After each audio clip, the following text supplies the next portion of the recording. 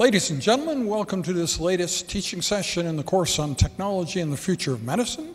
Yan Liang is going to take us through biomaterials and regeneration of meniscus defects. Take it away, Yan. Okay, thank you. Hello, everyone. My presentation is about the biomaterials in the generation of meniscus defects. So let's go to the background information. So osteoarthritis, um, the meniscus injury is a major risk factor for uh, osteoarthritis. About 10% of Canadian elders have uh, OA, and this uh, demographic is expected to increase, increase to 20% by 2031 as the population ages. And each year, the healthcare cost for the OA is in excess of uh, $4.4 billion.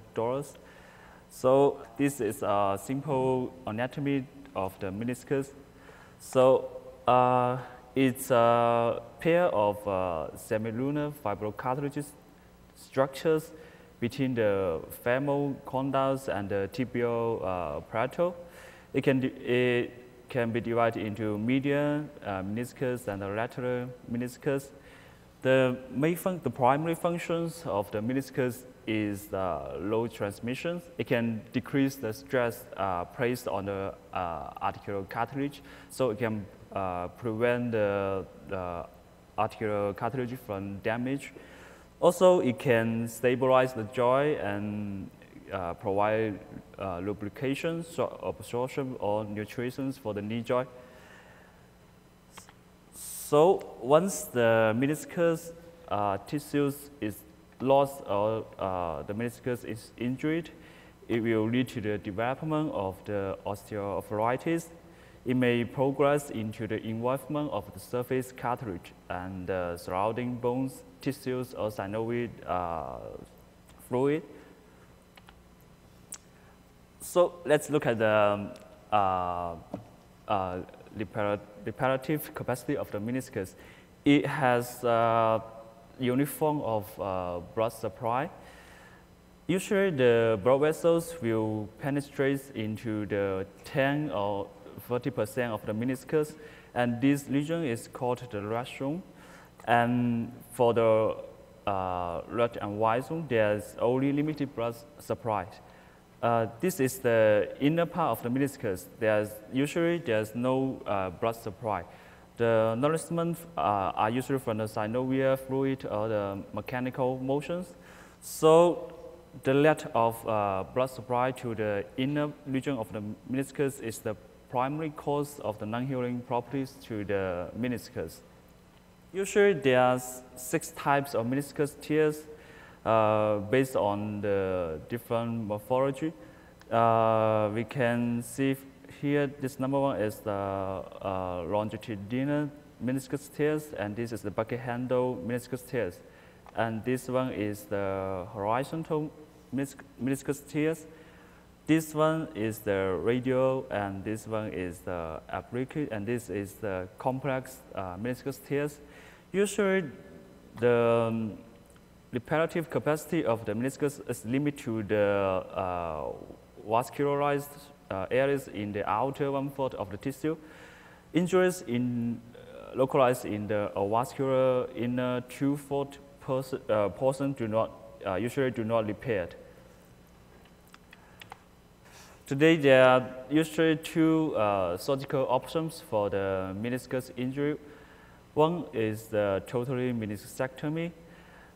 Uh, in the past, the meniscus is described as the functionally uh, remnants of the intra-articular uh, leg muscles. So um, this opened totally menisc meniscectomy uh, was considered the uh, standard approach for most of the 20th century. Usually patients can obtain uh, excellent short-term results of the meniscectomy, including return to the hard work as in a few months.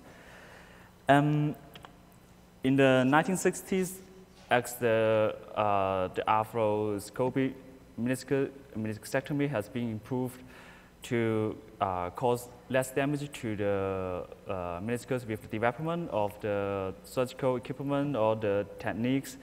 The main advance uh, of this partial meniscectomy is that they can preserve the peripheral limb of the meniscus that is responsible for the biochemical uh, functions of the knee joint. But uh, the long-term effects of both these two uh, uh, surgical options will lead to the further joint degenerations and uh, osteoarthritis, especially the meniscectomy. So people realize that the meniscectomy is not a harmless procedure, so efforts uh, should be made to preserve the meniscus as much as possible to avoid different uh, complications. The generations of a bioengineered meniscus replacement would be an ideal treatment for the meniscus injury, such as using the functional meniscus substitute. Now, there are only two types of um, artificial meniscus in the clinical practice. One is the collagen meniscus implant. This type of uh, artificial meniscus is composed uh, of the type I collagens derived from the bovine Achilles uh, tendons. Usually it's enriched with the glycosaminoglycans, uh, which they, they can uh, stimulate the cellular ingrowth once implanted into the defects of the meniscus. Uh, before the uses, the, this kind of uh, artificial meniscus should be chemically or physically uh, process to remove the uh, molecular antigens or the non-collagen materials. Uh, the, uh, the, the, shape is similar to the human meniscus, but during the uh, operations, you can cut the, this kind of implants into different shapes according to the uh, types of meniscus injury. So this is the procedure of the uh, CMI usually is used for the partial meniscectomy with the preservations of the, these uh, peripheral portions so that these implants can be sutured to the meniscus stumps under the arthroscopy. Uh, now, in this uh, six to uh, five to six to six year feasibility study for the collagen meniscus implants. They, uh, they insert the CMI into the uh, lesions and then this uh, implants is being sutured into the place using an inside-out technique. This allows uh, points to the interface between the native uh, meniscus uh, and, uh, and these implants. After six months, the, um, under the arthroscopy, we can see that the newly generated cells uh, filled with defects almost completely. And there's also some blood vessels called uh, synovial pannus that covers the new tissues, which can provide the uh, blood supplies to the tissues. Um, for the same patients, after uh, at 6.3 uh, years, we can see that the defects remains completely filled with the, these new tissues, and these uh, chondral surface uh, are unchanged since the six months relook. The interface here between the, this is the native tissue, this is the uh, new generated meniscus tissues, is very distinguishable. As for the histology results, we can see from that most of the collagen, collagen meniscus implants has been resolved or assimilated into the new matrix after one year. These arrows uh, point to the dark staining structures that are the uh, lamins of the collagen meniscus implants. But these types of uh, artificial meniscus have some shortages. First, is, uh, it has a risk of disease transmission and immunological responses, and uh, integrity of uh, this implants uh, will changes under the wet conditions. Uh, it will increase the risk of the this kind of scaffold damage during the implantations and make it more difficult to suture.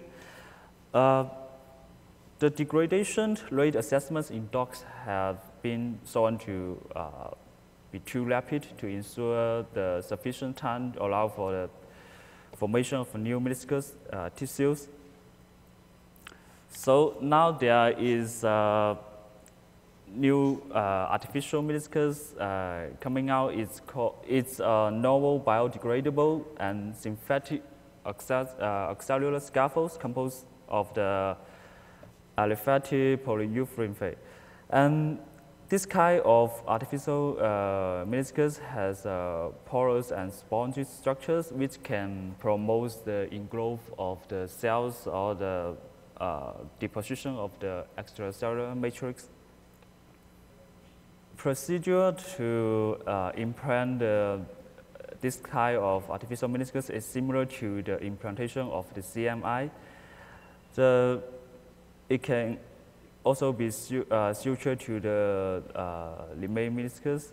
And then the first proof of the principle studied in uh, patients was conducted in 2011. In these studies, we can also uh, observe the 100% of the meniscus defects and the successful uh, integrations of the implant with the native uh, meniscus. But the most important findings in these studies is the uh, three layers of the newly uh, regenerated tissues, which resembles the native uh, meniscus.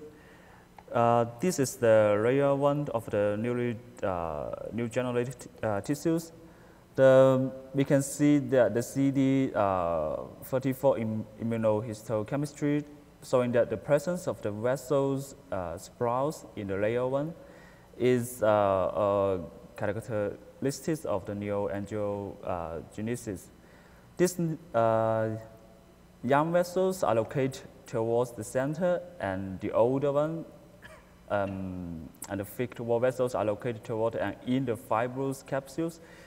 This is a strong indication for the uh, vessel ingrowth and hence for the tissue uh, ingrowth taking place in the artificial meniscus and this is the layer two.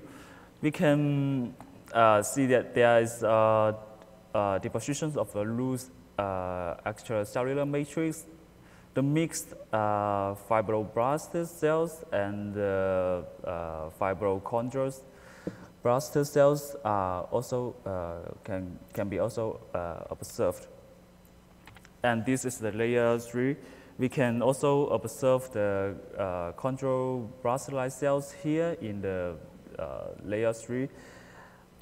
We can see that the layer 1 resembles to the uh, peripheral red vascularized uh, regions typically rich in the meniscal cells of the fibroblast-like cells, and it's rich in the I collagens and layer two resembles the middle uh, red-white regions of the native uh, meniscus, which also containing a mixture of this type of uh, cells. And layer three resembles the white and inner uh, regions, which is characterized by its uh, vascularity. So for now, this is the uh, first clinical study to report a ingrowth of a tissue uh, with structured organizations for uh, after the implantations of a synthetic scaffold for the partial meniscectomy. These cell-free uh, implants are only applied in the patients with uh, very selective uh, standards usually are irreparable, the irreparable partial meniscus injury. And none of these, now, none of these studies have currently demonstrated regenerations of uh, functional or long-lasting meniscus tissues. For the future directions, we, uh, from these studies, we can uh, see the successful tissue ingrowth or biocompatibility uh, in this in the clinical use Um, our knowledge about the meniscus uh, tissue engineering is also being significantly improved. So uh, we we also need uh, the data on the mid or long-term effects of the CMI or the uh, uh, on the articular cartilage to prevent the osteoarthritis after the losses of meniscus tissues. Um, also, the amount or the quality of the newly formed tissues also need to be improved because from the uh, histological uh, assessments, we can see that there's uh, different levels of scar formations and uh, vascularizations or the ECM uh, deposition. Thank you. So uh, this is an area where um, we we're trying to generate very complex organs, and sometimes something as simple as this, I think, is very very useful as a model, because if if you just look at things like uh, liver, kidney, and so on, they're so incredibly complicated. I, I find this beautifully uh, simplistic, and I think it's actually kind of ahead of those other areas, just like, you know, uh, trachea and, you know, esophagus, um, bladder. All those things are, are currently more in the practical realm of being just about ready, uh, where, whereas a lot of things are very exciting to think about, but are not so close to being just about ready. So I think it's, it's kind of nice uh, from that point of view. Are there questions? Is there any data on the long-term immunogenicity of a CMI? You mean the long effects of? Yeah, does it stimulate an immune response in the long term or short term? For the for the CMI is its first use is, is in the uh, once in the 1992. So.